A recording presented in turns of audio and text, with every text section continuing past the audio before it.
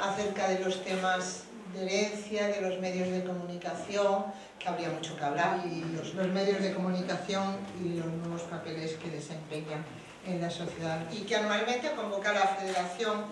con el objetivo de profundizar en asuntos que es esencial en la sociedad actual, un, apoyo que se mantiene, que preguntarle a muchos hijos cómo se organizarían, si no tuvieran a los padres o a los quizá eh, nos hayan convencido a todos, bueno, algunos estábamos convencidos ya. Eh, bueno, pues nosotros en el ayuntamiento somos conscientes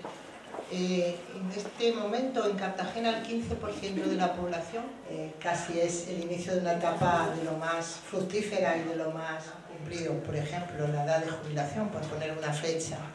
que a partir de ese momento dirigida siempre a que la sociedad perciba la vejez